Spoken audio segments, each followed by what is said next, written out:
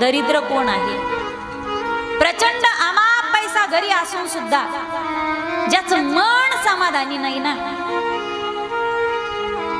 अरे आपल्या पायात चप्पल आहे पण समोरच्याच्या पायात भारीची चप्पल आहे हे पाहून ज्याचं मन तळमळत ना तो दरिद्र आहे. अरे आपल्या पायात चप्पल तरी आपल्या मागच्या मागे जो माणूस चालतो ना त्याच्या पायात फाटकी चप्पल आहे ठिगळं पडले त्याच्या चपलीला अरे त्याच्या चपलीकडे पाहून तरी समाधान माना ना. पण नाही दुसऱ्याचं लुबाडून आपलं घर जो भरण्याचाच प्रयत्न करतो ना अशी प्रवृत्ती ज्याच्यामध्ये ना तो दरिद्र आहे. सुदामजी फक्त मित्रच नाहीत भगवंताचे तर महान भक्त आहेत. सुदामजी भिक्षुकी करतात पाचच घरी भिक्षा मागतात. दिली तर घेतात नाही दिली तर सहाव्या घरी भिक्षा सुद्धा मागत नाही सुदामजी भिक्षुकी करतात ही गोष्ट खरी पण भीक मागतात.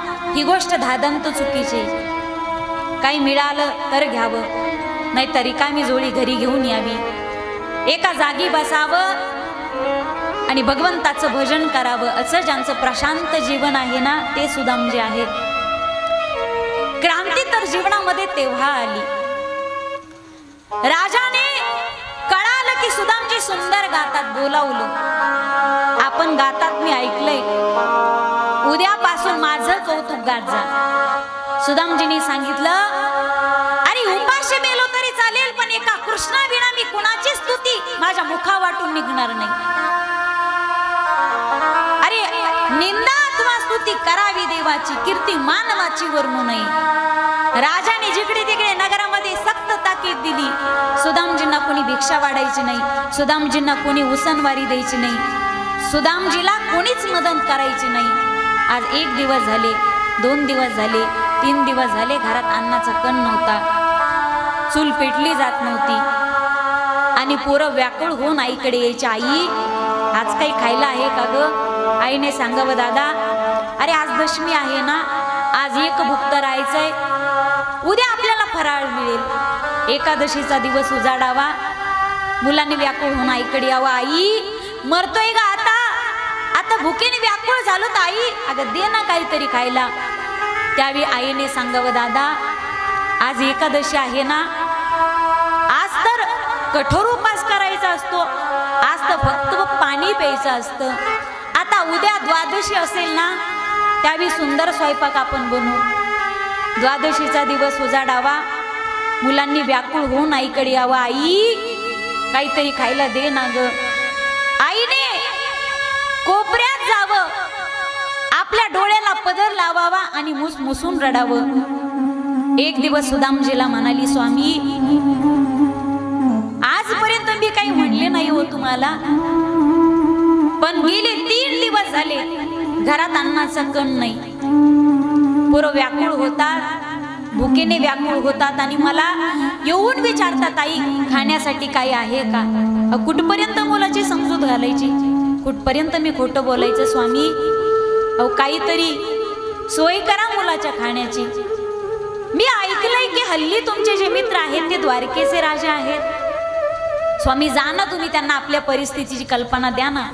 जर त्यांनी काही मदत केली तर केली.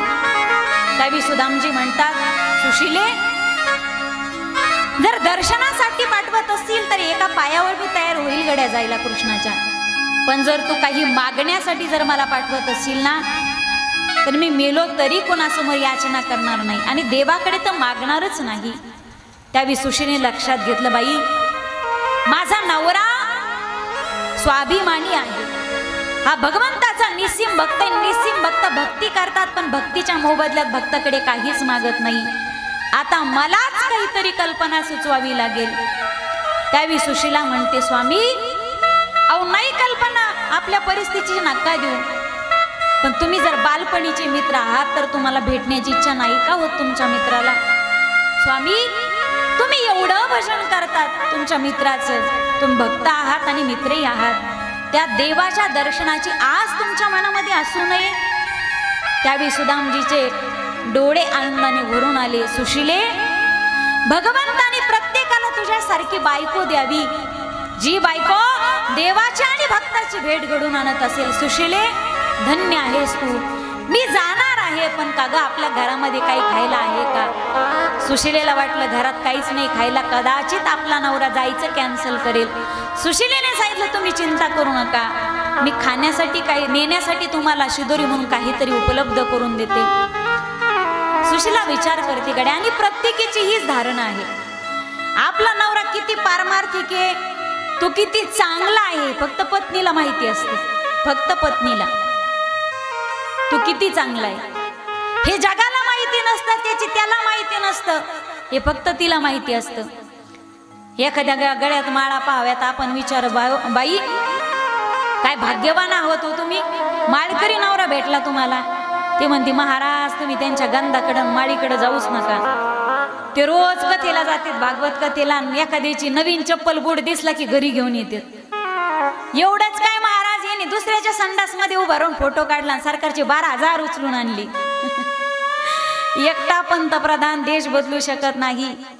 इथं साख पानपोळीचा ग्लास सुद्धा साखळीने बांधून ठेवावं लागतं. एवढे आम्ही प्रामाणिक आहेत. माणूस किती प्रामाणिक असतो? हे फक्त आणि फक्त त्याच्या बायकोला माहीत असतं. तिनं लक्षात घेतलं आपला नवरा स्वाभिमानी. चार पाच घरी गेली माय बाप एक बाई पोहे पाकडत होती.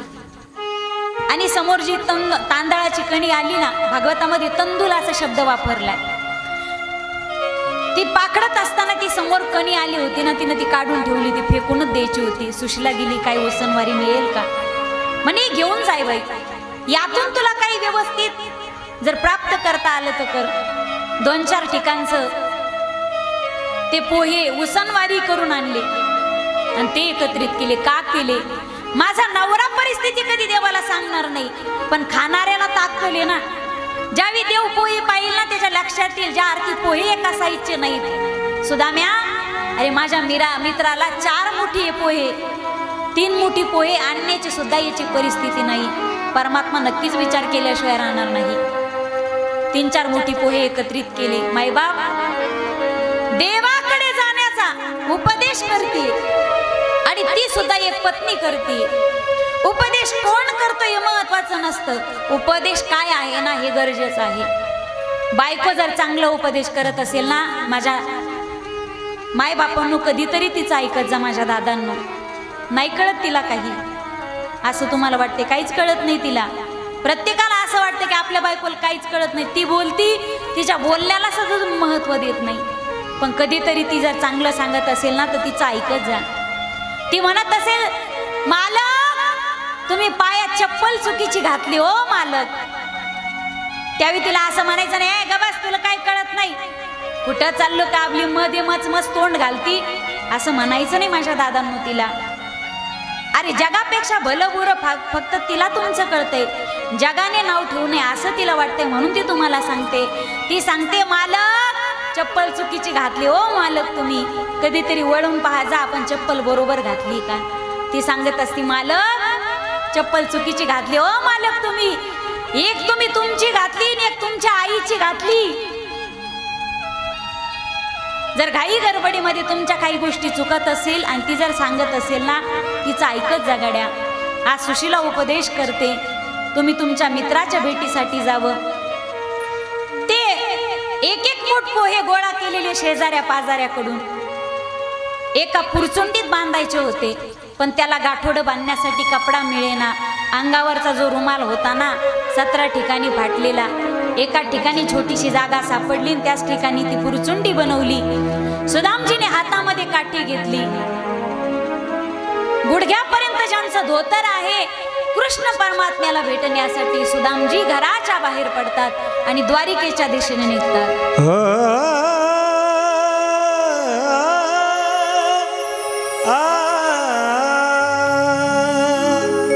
चले श्याम सुंदर से